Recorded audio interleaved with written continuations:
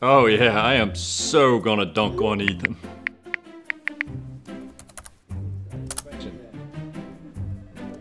That can't be the right company uniform.